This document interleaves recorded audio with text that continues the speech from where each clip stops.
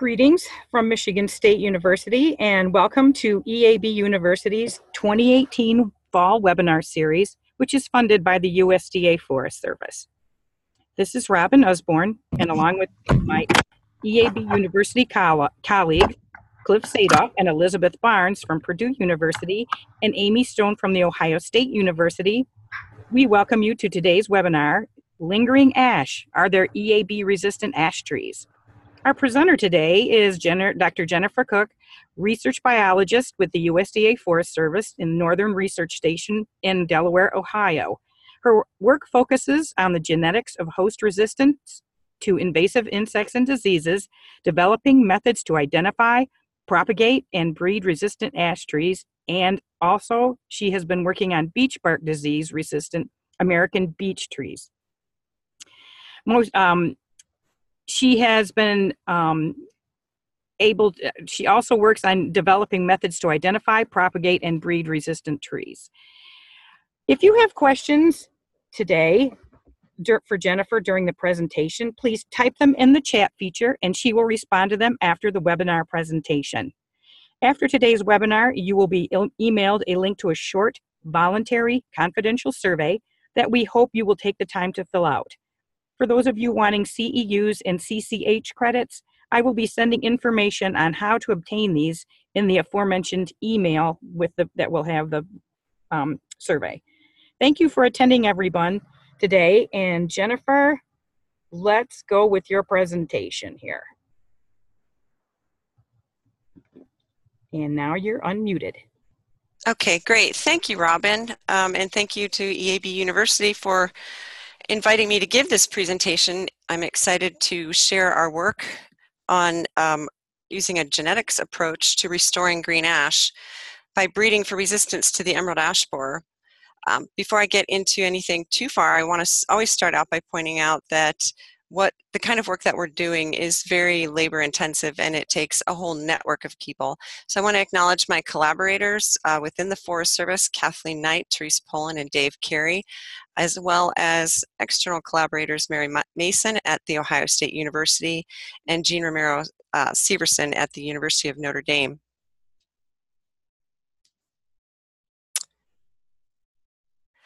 So for those of you who have tuned into EAB University talks before, um, I'm sure you're well aware of all of the damage and the impacts that the incredible damage that the emerald ash borer can cause. And so most notably is that uh, within 99 to 100% mortality can occur within four to seven years of the first emerald ash borer symptoms being observed in a stand. And this has led to green, white, black, blue, and pumpkin ash listed as critically endangered species on the IUCN Red List.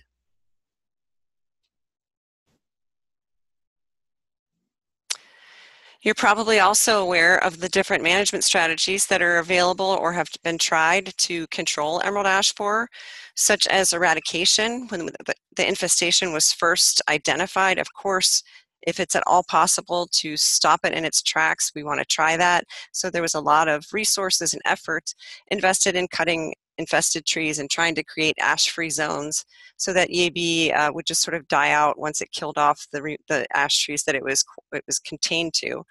Um, hmm. So, okay, I was gonna say today my my slides aren't working quite as well. Um, but unfortunately, we did not have efficient tools that allowed us to detect EAB infestations, and there were so many outlying infestations that this approach was abandoned. Um, there's now some research on called SLAM or slow ash mortality, trying to figure out ways through combinations of tree removals, insecticides, and trap trees to slow down ash mortality. But this is not an approach that's actually going to eliminate mortality nor eradicate emerald ash borer. And you're probably also aware that there are four parasitoids from China that have been approved for release in the United States. And um, there we go. Uh, for some reason, there's a lag on my slides today, um, so pardon that. But anyway, the high mortality rates that we see in North American ash species that are planted in China, despite having these na native parasitoids in China, while the resistant native Asian ash species have high survival rates, indicates that biocontrol alone may not be sufficient. And so our work is to try to, trying to change slides. There we go. I think I've skipped one now. Um, our work is to try to couple um, resistance, host plant resistance, in conjunction with biocontrol to hopefully give ash the best chance of survival and regeneration.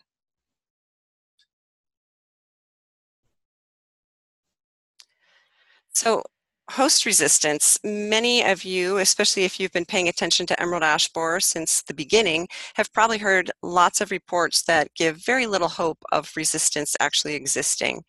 There were headlines that said all native species of ash are susceptible, uh, headlines uh, saying that, um, you know, this is the end of ash and that we are going to forever lose our ash trees. But I apologize. I'm not sure why this yesterday it worked just fine uh, when we did the little practice run, but I can't get the slides to switch at all now. I wonder if this will work a little bit better. Um, thank you for bearing with me.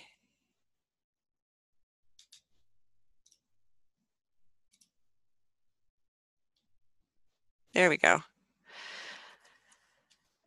So many of you may be wondering, does resistance exist based on previous reports that were pretty much doom and gloom?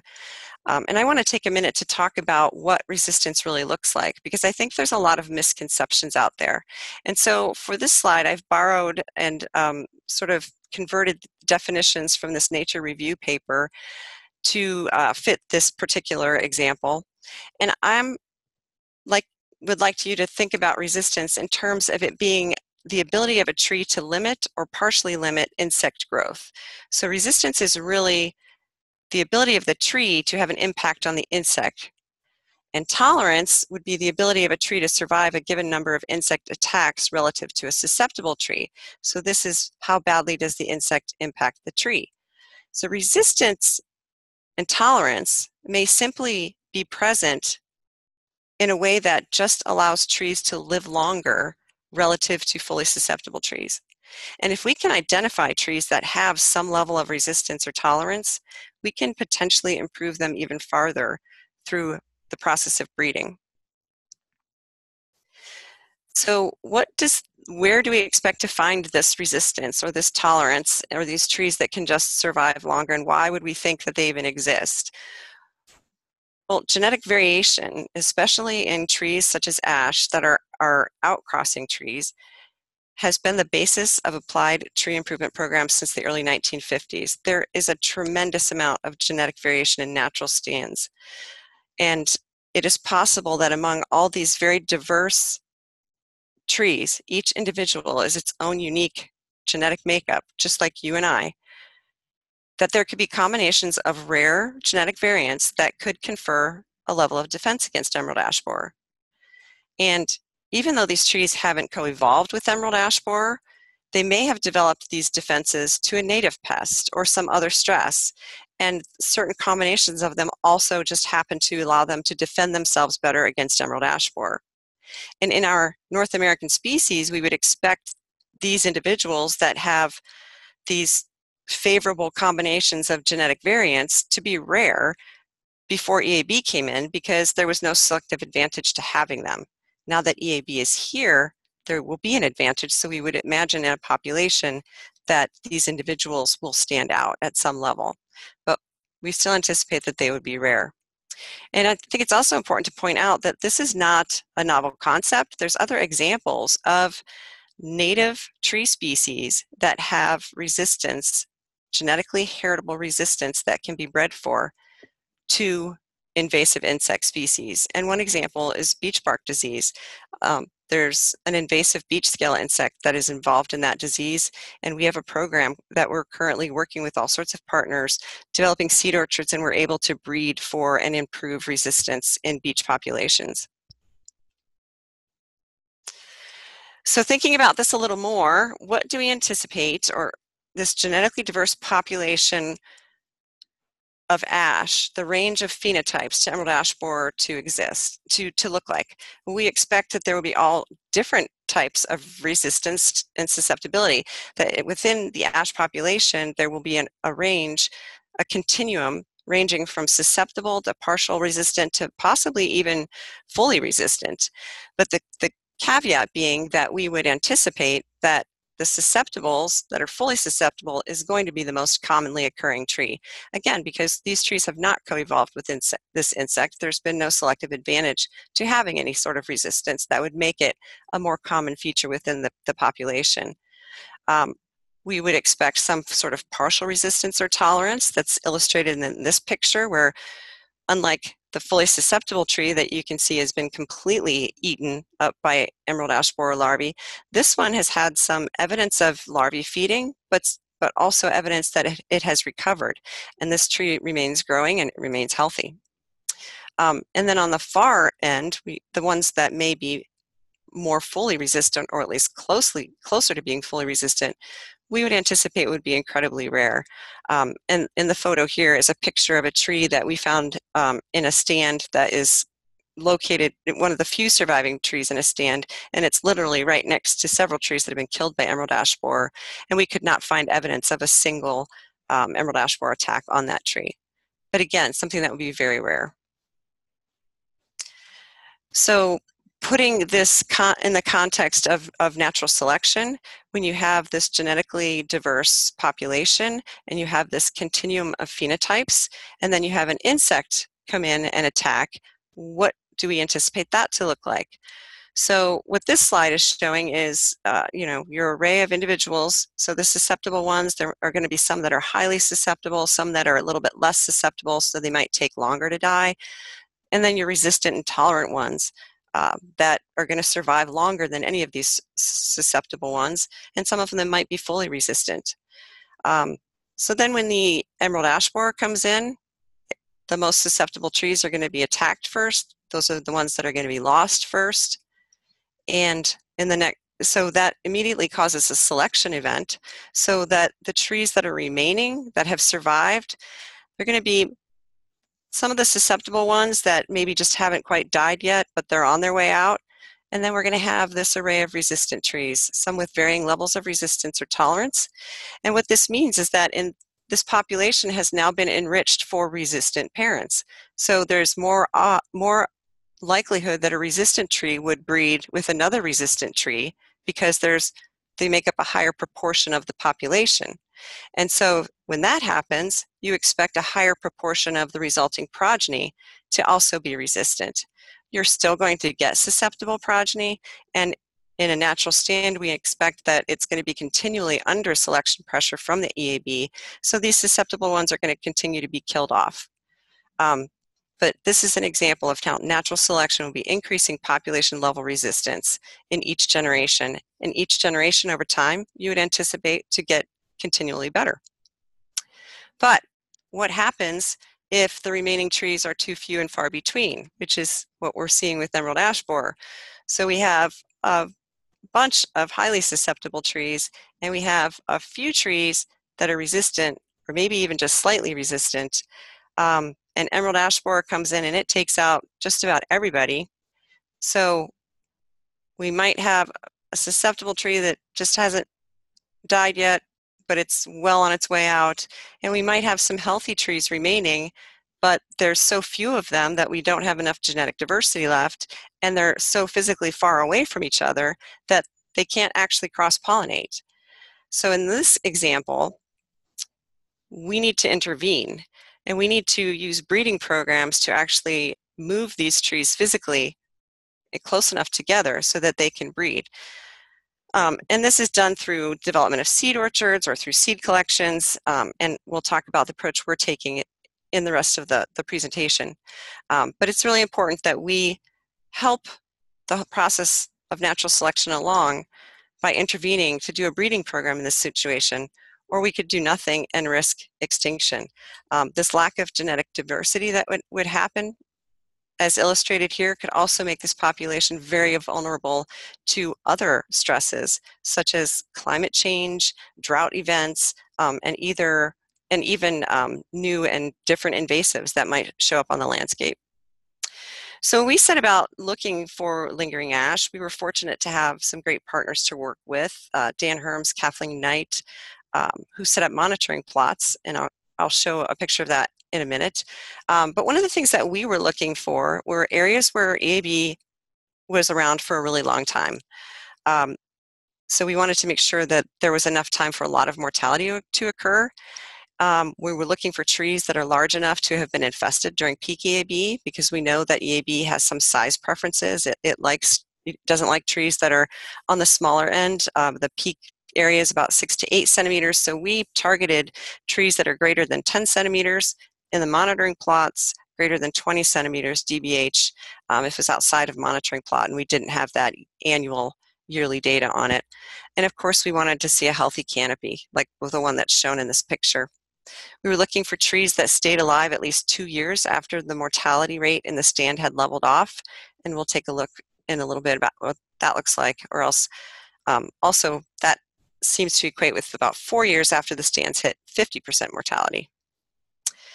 And so this is a, um, an example of one of the monitoring plots that Kathleen reported. This is actually her slide. And she actually has an EAB University talk that's available through their YouTube channel. If you check under um, 2016 and you want more information on Kathleen's work, I encourage you to go there. Um, but just to take a peek at one of her slides to give an example of, of what we're looking at, um, as emerald ash borer enters the stand, over time, the green line is looking at the percent trees that are still alive. So we see that over time, the percent living trees is being reduced and the number of EAB that is being trapped is increasing. And then once the, the trees start to die, the EAB falls off pretty dramatically right afterwards. Um, but even though the EAB is slowly going down to zero, what Kathleen has observed is that the EAB is never actually going away. It's persisting in root sprouts and stump sprouts and, and uh, regeneration. Um, so at that lower EAB population, it's the, the remaining ash is enough to keep it going for a while. Um, but the important thing is that you can see that the mortality rate of the ash trees has leveled off here, and that's when we want to start looking for lingering ash.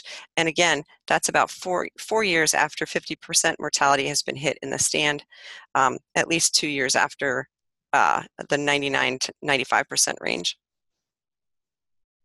So this is showing the, the different plots that Kathleen and Dan Herms had set up um, early on in the EAB infestation. And the circles are showing the plots that we actually have selected lingering ash from.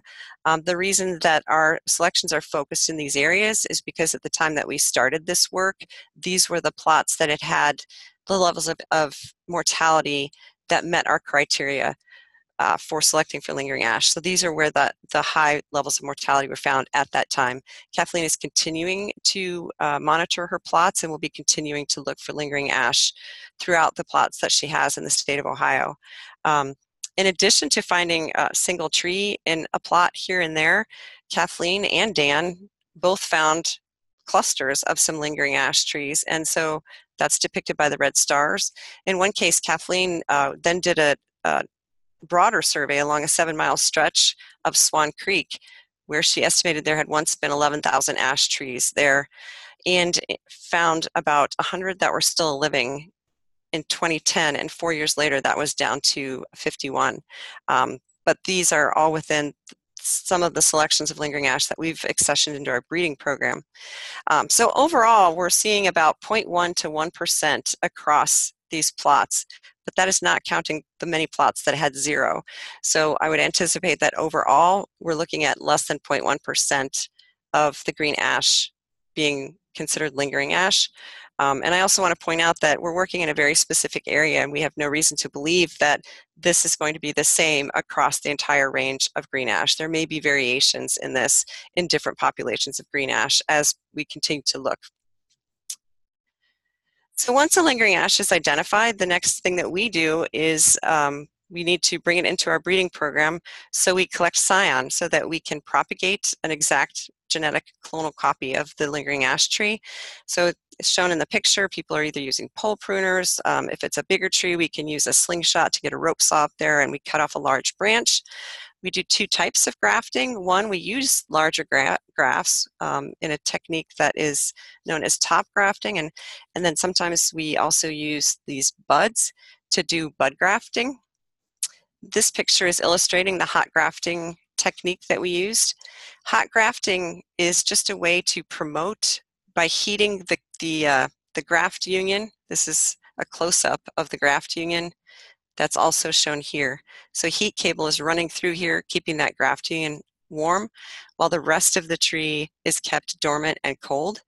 Um, and by heating the graft union, we're just giving it a jump start and it's able to uh, it's better able to form that union and give it a better shot of survival once the rest of the plant is released from, from dormancy. Um, and this is a critical technique with lingering ash because they're stress trees and so they don't uh, graft quite as well as a, a healthy ash tree. But healthy ash trees are typically very easy to graft, especially through the bud grafting technique, which is illustrated here, where on your rootstock, the bud, the original bud was just cut out, and then we place a bud from the lingering ash scion right into the notch that was left where the original bud was. The rootstock is then cut off, and this forces growth to come out of this bud. Um, and eventually that growth will become the leader.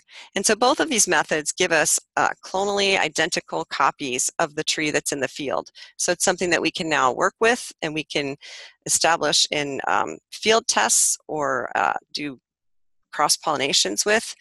Um, and so the next step of this process has been to establish these field tests because we want to test now in different um, different regions in the field to to confirm if they're still going to display this ability to survive longer that we observed originally in the monitoring plot system.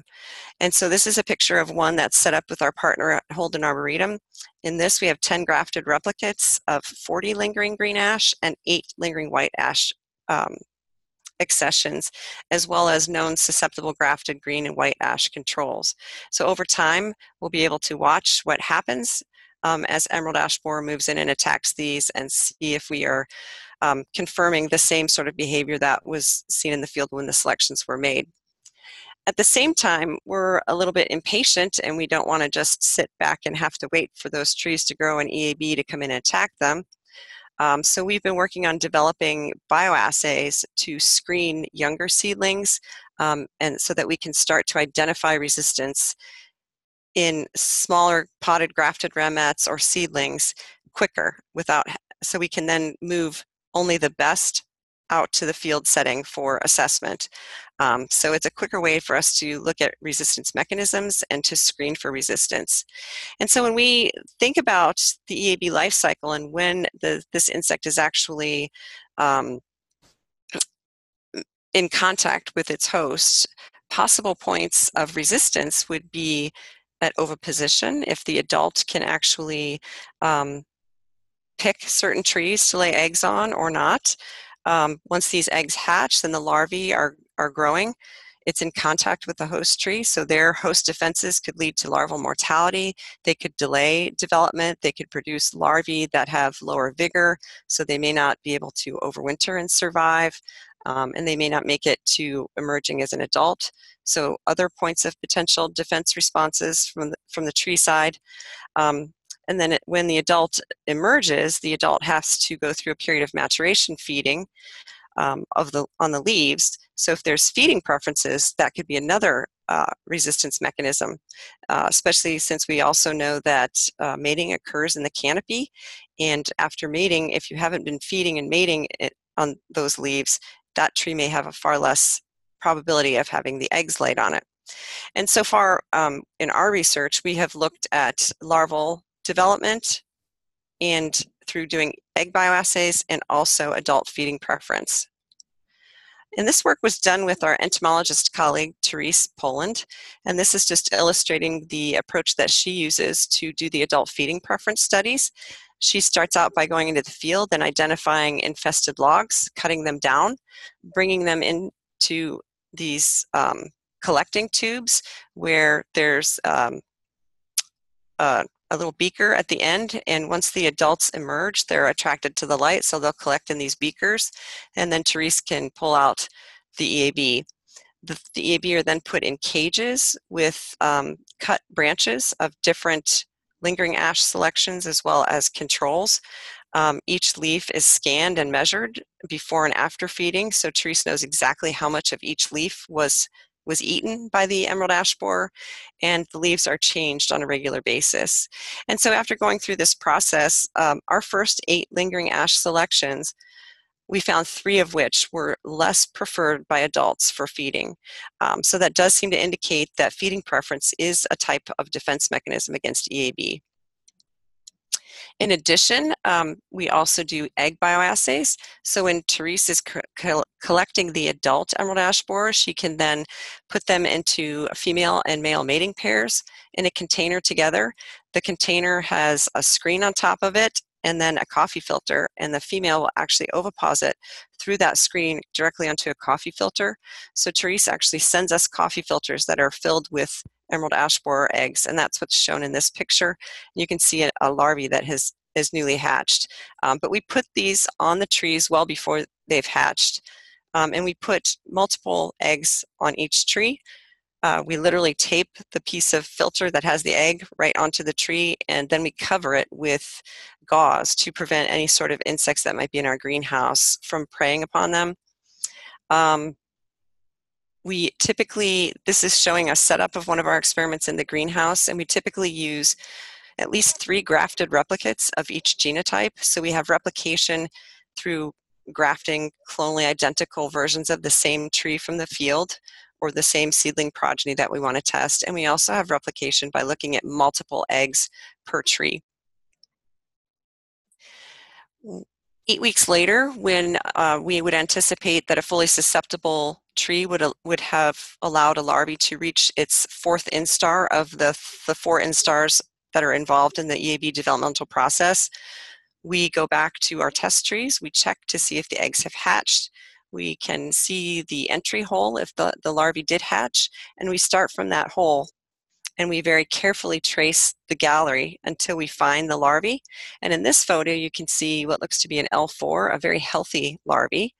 Um, but in this photo, you see a much shorter gallery, um, and it's leading to this much smaller uh, larvae that's actually been calloused over by the tree. So this is a host-killed larvae. It was killed by some sort of a defense response on the in the, the tree. in cases where we can actually extract the live larvae, we uh, also weigh them. I wanted to point out in this slide that we've done all of these same bioassays using the Asian species that have high levels of resistance to emerald ash borer. And this panel is just comparing um, different phenotypes of this host-killed response that we see. The top row is in Asian species, the bottom row is North American species. And just to illustrate that, that, that what we're seeing is the same in both. So we sometimes we see a larvae that hatches and it, it just begins to burrow in the, the tree. It never makes it fully into the tree and all we see is this little dark spot remaining and no larvae. So this is a larvae that hasn't re, hasn't survived. Um, in other cases we see that this short gallery with the calloused over larvae at the end and again we see the same thing in Manchurian ash one of the Asian resistant species um, and we also see larvae that um, go in but not very far. They're in the very outer la layers of the bark, and they sort of meander around like they're looking for a place to to dive in deeper. Um, but the tree is really actively responding by forming these raised lignified galleries, and eventually the larvae gets kind of encased in it, and it, it uh, never succeeds in fully um, developing so this is an example of just the raw data of one of our first experiments using these bioassays to assess um, development of larvae in lingering ash trees compared to a susceptible tree. And each circle, each pie chart represents all of the larvae that were on all of the grafted replicates of each individual genotype. There's a susceptible control here, but all of the rest of these trees met our criteria as being lingering ash. So they were all had healthy canopies in areas where there was greater than 95% mortality. um, the color coding, brown indicates the proportion of larvae that were killed by host defenses. Green indicates the portion of larvae that were early instars, and blue represents the portion that are later instars. Um, and again, the fully susceptible individual, all of those larvae have made it to the later instar, which is what we would expect. And if we look at our lingering ash test trees, we have some that have been able to kill a much higher proportion of larvae. Um, some have been able to kill a small portion of the larvae, um, but some is a pretty impressive portion of larvae. But I also want to point out that down here in the bottom right, that's a fully resistant Manchurian ash tree, and that was able to kill all of the larvae that were put on it. So our lingering ash tree are displaying the same responses as the resistant responses that we see in a Manchurian ash, but they're not doing it with the same level of um, efficiency. The other thing that we're seeing in two of these trees, you can see the little green slice of the pie, is that some larvae are not fully developed. So they've been delayed. So they should be at the L3 or L4 instar by this time period, but a, a, small portion of them have only made it to L1 and L2. And so we don't know, since this is just a, a snapshot in time, that may indicate that these larvae are also going to go on to die and not fully develop, or they may, may be less vigorous. Um, we also have found differences in larval weights, and that's shown in this graph. The green bar down here, that's our susceptible control. So you can see that some of the larvae are just as fat and juicy as the ones that we see in the susceptible control. But in some of our lingering ash, the larvae that we were able to extract that are still alive have significantly lower larval weights. And so that may be an indication that they are, are potentially less vigorous and maybe less likely to survive to become adults, or if they do become adults, uh, perhaps they would be less um, efficient at laying eggs. So these could all be potentially me- resistance mechanisms um, that the host is is um, waging against the insect attack. So even though the lingering ash don't have the resistance level that is as high as what we see in the Asian ash tree, what we do know from, from genetics is that if you have different genes that are involved in dictating these different phenotypes, so for example, the growth inhibition, the smaller larvae, has a certain combination of genes that cause that to happen in a tree, or the trees that have the really high larval kill, there's different combinations of genes that cause that. And if we breed these trees, we can combine those genes. Um, we can't, and so we would expect that when we breed them, we would produce progeny that get different combinations of genes from both parents. So some of the progeny are not going to be very lucky. They're going to get none of these good genes from the parents. So they're going to be even worse off and more susceptible than either parent. Some of the progeny are going to get some of the genes from one parent or the other, but not both. And so they're going to be very similar to the parents. But some progeny are going to be lucky enough to get the best genes from both parents, and they would be expected to perform and be even better able to defend themselves against EAB than either parent was. So at this point, we have actually been able to start doing crosses between some of our lingering ash parents, um, and that's what this slide is illustrating. We have two parents here. Um, they were not, as you can see, they're not one of the best as far as the proportion of larvae they were able to kill, but they were selected because they happened to be the parents that flowered for us um, first. So we were they were the first parents we were able to do crosses with.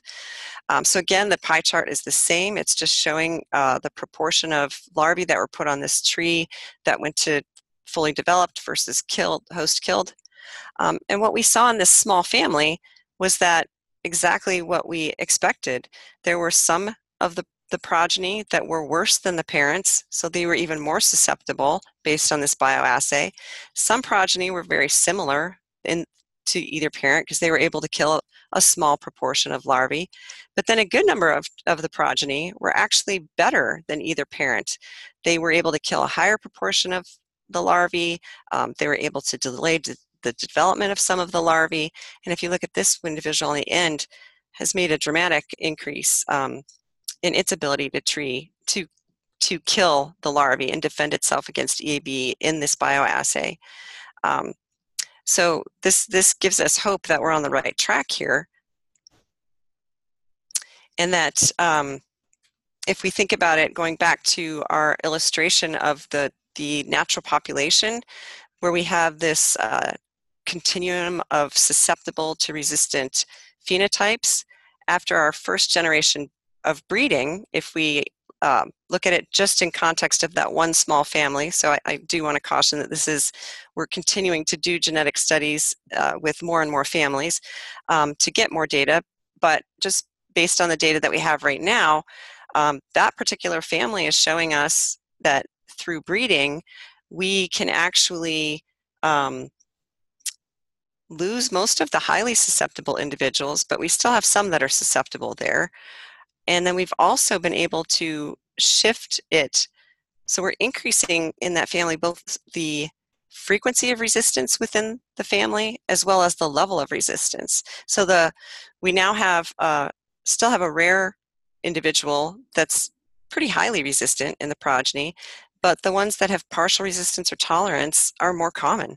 Um, so the next step in this process in the next generation, we would expect to continue this shift and to get even more, um, uh, to increase the level and frequency of resistance in the population even farther.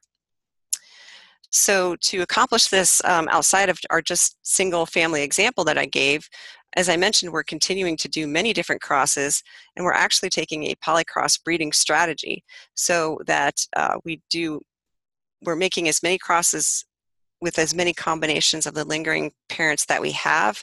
Right now we have 50 lingering ash, uh, lingering green ash parents in our program. Um, and then we select the best of those progeny and we put them into a second generation seed orchard. And so then the best of all of the progeny from these lingering by lingering crosses are going to be allowed to cross pollinate with each other. And the anticipation is that we will see even greater um, increases in resistance frequency and level in the seed produced from this seed orchard. And at the same time, because we're including so many different parents, we're retaining genetic diversity. We're working in uh, with all materials in that you know southeast south southern uh, Michigan, northern Ohio, so they're going to be adapted to grow in those areas. Um, so this is potentially the source that will be available for restoration in those areas. And this this approach could be applied throughout the range of green ash and be um, a method to restore green ash throughout its range. Um, so again, through breeding, we can increase both the, the uh, level and proportion of resistance within a population. And at the same time, we have biocontrol that's helping keep the EAB population down. So this gives us great hope that we can achieve sustainable green ash in North America. So hopefully some of you are thinking, well, what can I do to help? Um, and I do want to point out that we have an urgent need to identify and preserve these lingering ash. So even the lingering ash trees can mount a defense response against emerald ash borer that can extend life from four to eight years. Um, so far, we have some trees that we've been tracking for eight years now that have, have survived. Some trees have gone on to die because they're still being attacked by emerald ash borer. Um, and so they're still in a weakened state, which, makes them more susceptible to being killed by other things like the, the one in the picture was killed by um, a wind event. Um, but we also know through our bioassays and testing that they, even though they've died, even maybe eventually died from emerald ash borer attack, they are better able to defend themselves against EAB than the other trees that died before them. And that's kind of illustrated in this tree cookie from this tree that was killed, where um, several years back, um, about the onset of EAB infestation in this stand, there was a single attack, but this tree recovered and there was you know very few seen from that point on. Um, but once these trees do die, the valuable genetic variants that they possess will be lost. So it's important to be able to identify the lingering ash and the data that we need to do this um, that people can get involved in is uh, first of all surveying in areas that have not yet been infested so that you know when you get emerald ash borer. Um, once you have emerald ash borer, it's important to do ash uh, mortality monitoring as well as EAB population monitoring. And then once you have areas that have long-term EAB infestation and that you've seen heavy ash mortality, that's the time you want to start looking for lingering ash um, in monitoring plots or or in more widespread surveys, once you know you've reached in that area mortality rates of 50%, and four years has gone by since, or you're two years out since about 95% mortality. And I do want to um, really emphasize that the knowledge of the extent of the infestation and the mortality levels, along with repeated observations. So not just going into the woods once and, and seeing a healthy tree, but repeated observations over multiple years is key.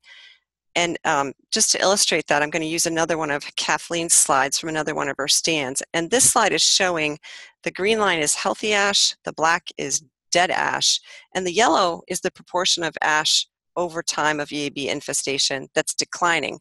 So if you look at this period of time right in here, you can see that there's at least 50% of the ash have died, and an, another good proportion of them is declining. So in various stages of decline, they're going to look very sickly. But we still have a reasonable amount of healthy ash trees, which could look quite impressive when you see all these dead and dying ash trees around it. But if you just wait another two years from here, it's very likely that the, a good chunk of those healthy looking trees will have gone on to die. So that's why it's so important um, to monitor and to know that you're at this point where this mortality has leveled off and you're not um, mistakenly selecting trees here because we want to take advantage of, unfortunately, our best selection tool right now for identifying lingering ash trees is the emerald ash borer peak infestation as it's moving through. Um, so uh, we do have a couple of resources that I want to let you all know about, um, and feel free to email me if you don't catch these. I think this tape will be available if you can't get all the information as I go through it. Um, but uh, through the TreeSearch website of the Forest Service, there are several publications, but uh, the one in particular that describes all of the methods that Kathleen has used to monitor um, ash as well as emerald ash borer populations in her monitoring, monitoring plots is in GTR 139. So if you use that, uh, monitoring ash, and that, that is a keyword, you should be able to find it through TreeSearch. Um, we have a website that's listed here where you can actually report a survivor ash tree. Right now it's limited to a handful of counties in uh, Michigan and Ohio, but we're working on getting that updated. Um, um, and um, it, in the meantime, if you want to know if your county what level of mortality you have in your county, there has been this tool developed uh, by uh, Randy Morin of the Northern Research Station in, in, conjunction with forest inventory and analysis data called the Emerald Ash Borer Impacts Dashboard. Um, and it this is a screenshot from that. So this is the entire infestation area, and I and I apologize. This is probably a little bit blurry, but it will tell you um, the ash volume that's remaining and also the mortality rate. So across the entire extent here, there's 2.2% mortality. But you can also zoom in and when you zoom in on an area, so here the state of Michigan, it tells you across the entire area. So now you've got mortality rates that have gone up to 18.4%. There's another tool up here in the far left corner that you can use to select specific counties.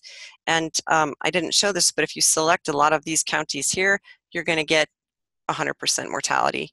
Um, and this is just showing um, in a different area how that tool can select a specific county and, and again report that mortality rate. Um, so if you do want to help out with collecting data on lingering ash trees, uh, one avenue of reporting that that that data that is a very uh, user-friendly approach is the TreeSnap app. You can get more information on that at treesnap.org. Um, and there's multiple species that you can report on. But for the ash, it'll pop up and it'll ask specific questions.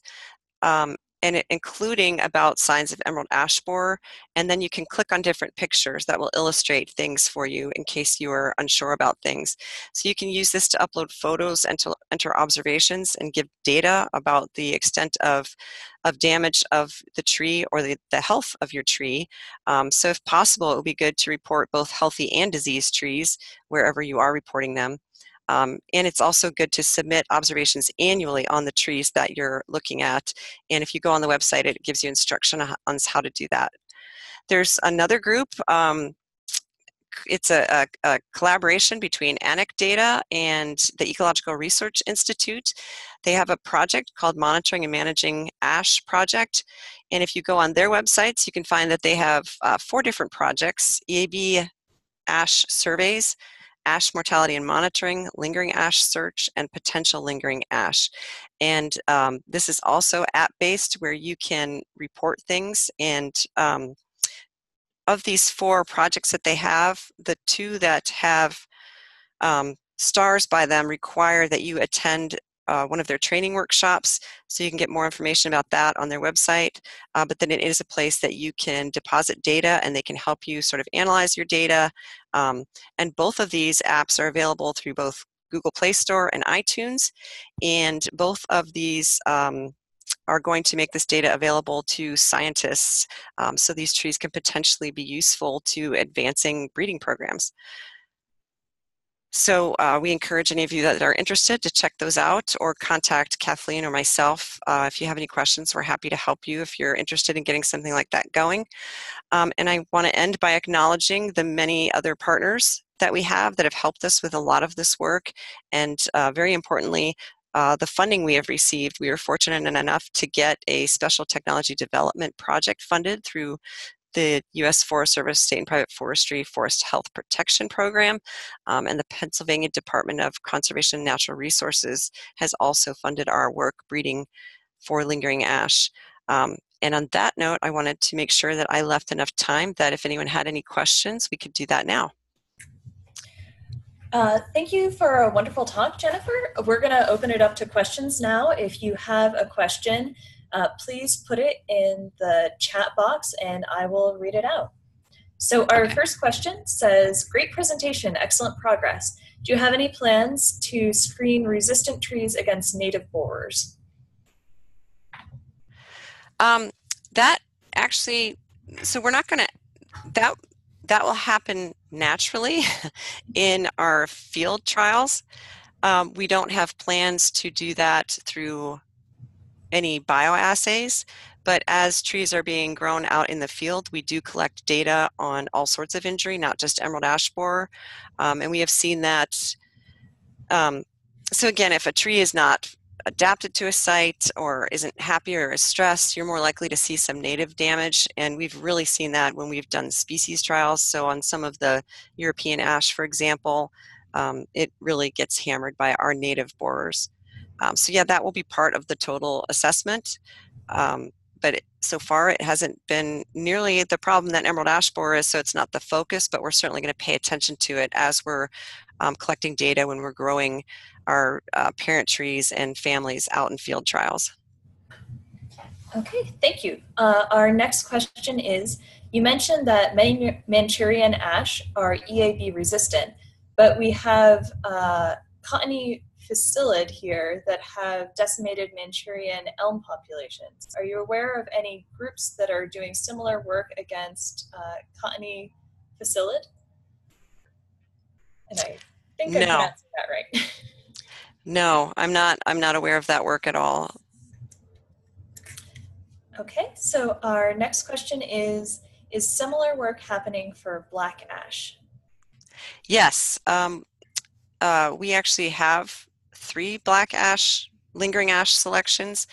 Um, and the reason that we don't have more is because the areas that have been heavily infested with EAB for long enough to have caused mortality at the level that we need to to be able to identify lingering ash trees has simply not had a high proportion of black ash growing there. Uh, we are now starting to see that in northern Michigan. Um, we're starting to see EAB populations move into some of the dominant um, ash, black ash northern forests in Wisconsin and Minnesota. So uh, we anticipate we will see lingering ash uh, based on the information that we have right now.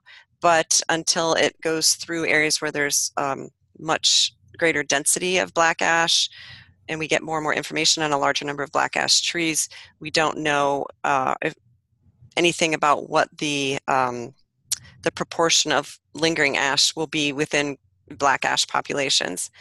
Uh, we just know that we have been able to identify some that that do. There is variation within black ash seedling families, and we've also been able to identify um, some some good performing lingering black ash we just haven't gotten as far because of the situation and it, there's just not enough black ash that have been under enough EAB pressure to select enough to get as far as we have with the other species. Okay, so the next question we have is, how big do green ash planted in Asia get before they are killed? Do some of them set seed over there? Um, yes, they do. we actually yeah there are there are larger ash trees north american species that that grow in asia. Um, and we were just having a conversation about this. So um, when eab population we, we know that even the most susceptible green ash tree can survive low levels of emerald ash borer attack. But that is rapid that defense is rapidly broken down when you have an increase in the number of EAB attacks. So, in general, in Asia, you would expect that there is a very low steady state of emerald ash borer because the Asian species is resistant and also because you do have parasitoids. So, um, it may be that some of these larger ash are surviving because it's just they're not getting exposed to a high enough infest- level of EAB to actually take them down. Um, but there are um, studies that have shown significant mortality in native species growing in in China, um, despite having high levels of parasitism. Great. So, oh, I uh shouldn't say China. I should say Asia. I'm not. I I don't know that it was necessarily China. All right. Um, our next question is: Is there anything to do to protect uh, uh, new growth in ash? I'm sorry, can you repeat that? Sure thing. Um, is there anything you can do to protect uh, new growth in ash trees? As in seedling regeneration? Um, I'm not I'm sure. assuming. Um, so, um, the, the parasitoids that are being released, um, the one in particular is the studies are being shown that it is able to parasitize the younger trees, so there is the potential that that might help. Um, and the same chemical treatments that would work if they were appropriate for a seedling situation, but um, I would anticipate that seedlings will grow for a while until they reach the size classes that require that are sort of required before the EAB population starts to build up again. So it'll be interesting to watch um, the interaction between what is happening over the long run with the regeneration and the emerald ash borer. All right, our next question is, uh, does your program also involve blue ash? Are there more numbers of these trees than other American ash species? Um, so again, we don't have a lot of blue ash. Um, I we I believe we have one blue ash that was selected.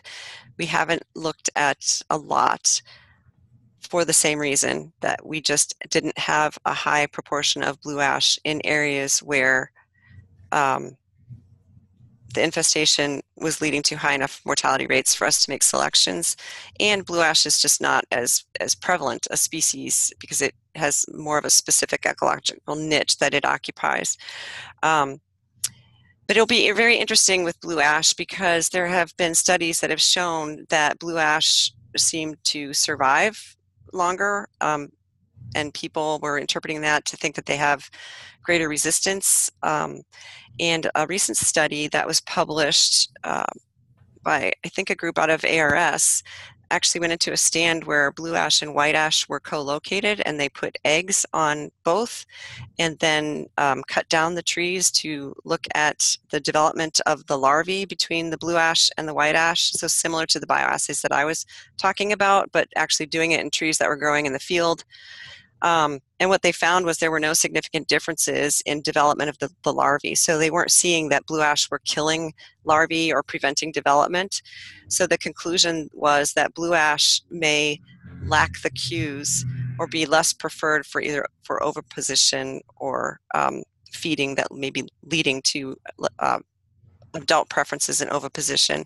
But it appears that if a blue ash is located close to a susceptible tree, like when it's with near white ash, there's more of a chance of EAB actually just randomly laying an egg on it um, when you have really high EAB infestations. And once the egg is on it, it appears to be able to fully develop. Um, so again, the same thing with, with emerald ash borer. We don't know uh, much about the uh, frequency of those different types of phenotypes within the blue ash populations. But we do know that there's definite indications that they're behaving differently than um, the other ash species. All right. Uh, our next question says, this is kind of troubling. Uh, we have to wait and uh, do we have to wait until many or most of the black ash die before we can identify lingering black ash? Is there any way to proactively select survivors? Yeah, that is definitely the um, the sad point, and it's not very satisfying to tell people when they're all anxious and excited about the fact that we can breed, you know, potentially breed for resistance. When I say, okay, just sit back and wait and let all your your trees die. Um, but right now, that is unfortunately our most cost-effective method of selecting for resistance. Um, however, we are doing research, and we recently got um, funding through APHIS to to work at developing screens that would be non-destructive but help us select these trees before they have all died. Um, so that work is just going to be starting this year. Um, and that, that is a goal of ours. And we're hoping that, obviously we're going to have to work with green and white ash first, but we're hoping it will be translated into black ash at some point too. So yeah, that, that is a goal. Um, it's something that's, that's in the works and at least we have a little bit more time when it comes to black ash because it's just now getting there. All right. Are you simultaneously quantifying the genetic diversity of EAB that you are allowing to feed on the ash trees in your study? So no, we have not done diversity analysis on EAB that's in all of these different plots or the ones that we're using. Every year there's multiple trees that are selected and brought in. Um, but there have been studies previously that show there was a limited number of introductions of EAB in the first place so there is limited genetic variation within EAB um, in in North America as a result of that anyway. So um, we do when we do our bioassays make sure that we're using eggs from multiple different mating pairs so that we're not just using the same line for example. So we randomize that and each tree is getting eggs from different pairs so that we're trying to uh, attack you know use a genetic diverse source of eggs. And we're also selecting multiple trees so we're trying to use a genetically diverse source of the emerald ash borer Okay, you mentioned EAB populations resurging as the trees get to a certain size. What size of ash in an area tends to cause a rise in EAB populations?